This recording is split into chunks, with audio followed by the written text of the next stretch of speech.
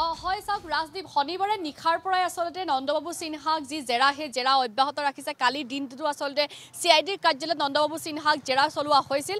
আৰু যিহেতু আপুনি উল্লেখে কৰিছে যে ডিব্ৰুগড় যিটো আচলতে কেছ আছিলে সেই ডিব্ৰুগড় যিটো গোচৰত আচলতে ডিব্ৰুগড় আৰক্ষীৰ ওচৰত নন্দবাবু সিনহাই ৰাজসাক্ষী হোৱাৰ মন মেলিছিল আৰু তাৰ পাছতে তেওঁ ওৱান ছিক্সটি ফ'ৰ ধাৰাত ষ্টেটমেণ্ট লোৱা হৈছিল।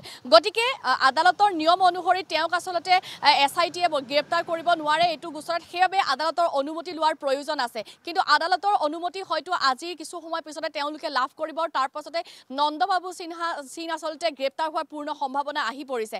আৰু জেৰা তেওঁ বৰ্তমান অব্যাহত আছে। আৰু নন্দবাবু সিনহা আচলতে ৰাকেশ পাল বাহিনীৰ অন্যতম সহযোগী আছিল। চাওক এই নন্দবাবু সিনহাক আচলতে যিমানে এছ আই টিয়ে জেৰা কৰিব বা ডিব্ৰুগড় আৰক্ষীয়ে যিখিনি ষ্টেটমেণ্ট ইতিমধ্যে ওৱান ছিক্সটি ফ'ৰ ধাৰাত লৈ থৈছে সেইখিনি আছেই। আৰু সমান্তৰালকৈ এছ আই টিয়ে যিহেতু নতুনকৈ তেওঁ জেৰা আৰম্ভ কৰিছে এছ আই টিয়ে এইজন ব্যক্তিৰ পৰা বহু সময় পাব পাৰে।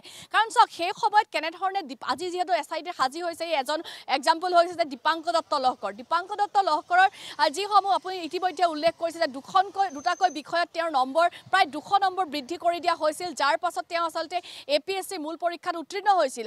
এই নম্বৰ যদি বৃদ্ধি নকৰিলেহেঁতেন তেনেহ'লে দীপাংক দত্তই কিন্তু মূল পৰীক্ষাতেই উত্তীৰ্ণ হোৱা নাছিল।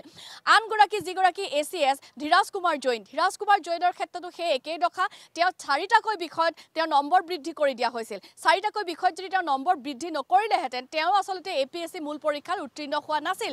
গতিকে এই যি টেবুলেশ্যনৰ ক্ষেত্ৰতেই হওক বা বহি জালিয়াতিৰ ক্ষেত্ৰত হওক যিসমূহ সংঘটিত হৈছিল সেয়াত কিন্তু নন্দবাবু সিনহা পূৰা এই ক্ষেত্ৰত কিন্তু তেওঁ চকুৰে দেখি আছিল বা এইখিনি হ'বলৈ তেওঁ সহযোগ আগবঢ়াইছিল। কাৰণ চাওক এগৰাকী যেতিয়া প্ৰধান পৰীক্ষা নিয়ন্ত্ৰকৰ হাততে গোটেই পৰীক্ষা ব্যৱস্থাটোৰ কণ্ট্ৰল থাকে তেওঁৰ হাততে নিয়ন্ত্ৰণ থাকে। যি ষ্ট্ৰং ৰুমৰ চাবি এটা থাকিব চেয়াৰমেনৰ ওচৰত আনটো থাকিব পৰীক্ষাৰ যিগৰাকী প্ৰধান নিয়ন্ত্ৰক হ'ব তেওঁৰ ওচৰত। গতিকে সেই ষ্ট্ৰং ৰুমৰ পৰা যেতিয়া বহি উলিওৱা হৈছিল বহি ডুপ্লিকেট বহি তাত জমা কৰা হৈছিল সেই সকলোখিনি কিন্তু নন্দবাবু সিনহা আৰু ৰাকেশ পালৰ জ্ঞাতাৰ্থে হৈছিল। অন্ধকাৰত ৰাতিৰ আন্ধাৰত কেনেধৰণে তাত আচলতে বিভিন্নজনৰ বহি উলিওৱা হৈছিল তাৰ পাছত সেই বহীত ডুপ্লিকেট পেজ সংলগ্ন কৰি কেনেধৰণে আকৌ ষ্ট্ৰং ৰুমত ভৰোৱা হৈছিল সেই সকলোখিনি কথাৰ সাক্ষী আছিল নন্দবাবু সিং। গতিকে নন্দবাবু সিঙৰ এই তদ যিমানে তেওঁক জেৰা কৰিব সিমানেই আচলতে এইসমূহ তথ্য পোহৰলৈ আহিব কোন কোন কেণ্ডিডেটৰ পৰা কেনেধৰণে তেওঁলোকে পইচা লৈছিল বা কেনেধৰণে তেওঁলোকক চাকৰিৰ সুবিধা কৰি দিছিল সেই সকলোখিনি কথা কথা পোহৰলৈ আহিব। আচলতে গোটেই এছ আই টি যিটো আচলতে তদন্ত প্ৰক্ৰিয়া তেওঁলোকে আৰম্ভ কৰিছে নন্দবাবু সিনহাই এনে এজন আচলতে একিউজ হ'ব পাৰে যাৰ পৰা তেওঁলোকে আৰু বহু তথ্য লাভ কৰাৰ সম্ভাৱনা আছে। আজি যিহেতু বিয়লি ভাগলৈ আদালতৰ অনুমতি তেওঁলোকে খুব সোনকালে লাভ কৰিব তাৰ পাছতে নন্দবাবু সিং গ্ৰেপ্তাৰ হোৱাৰ পূৰ্ণ সম্ভাৱনা আহি পৰিছে। আৰু চাওক নন্দবাবু সিঙৰ বিৰুদ্ধে এটা গুৰুত্বপূৰ্ণ অভিযোগ হ'ল যে এই কথাখিনি আছেই। তেওঁ ওচৰত ষ্ট্ৰং ৰুমৰ চাবি আছিল।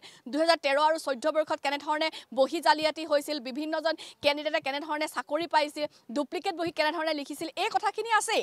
তাৰ পাছত চাওক নন্দবাবু সিঙৰ যিহেতু কন্যাই দুহেজাৰ চৈধ্য বৰ্ষৰ পৰীক্ষাত অৱতীৰ্ণ হৈছিল আৰু তেওঁ এ চি এছ হিচাপে নিযুক্তি লাভ কৰিছিল। এতিয়া কথাটো হৈছে যে যেতিয়া আচলতে এগৰাকী মেম্বাৰে হওক বা তেওঁৰ কোনো বিষয়াৰ যদি কন্যাই অসম লোকসেৱা আয়োগৰ যদি কোনো বিষয়াৰ কন্যা বা পুত্ৰই যদি এ পি এছ চি পৰীক্ষাত অৱতীৰ্ণ হয় তেনেহ'লে তেওঁ সেই পদটোৰ পৰা আচলতে আঁতৰি দিব লাগে বা তেওঁ সেই পদটো থাকিব নোৱাৰে। কিন্তু সেই ক্ষেত্ৰত চাওক নন্দবাবু সিনহাক দেখা গ'ল যে নন্দবাবু সিঙে কিন্তু গোটেই দুহেজাৰ চৈধ্যৰ প্ৰিলিমছৰ পৰা আৰম্ভ কৰি মেইনছ পৰীক্ষালৈকে তেওঁ কিন্তু সেই যি পৰীক্ষাৰ প্ৰধান প্ৰধান পৰীক্ষাৰ আচলতে নিয়ন্ত্ৰক আছিল সেই নিয়ন্ত্ৰকৰ পদতে থাকিলে। গতিকে তেওঁ সেইটো থাকিব নোৱাৰে।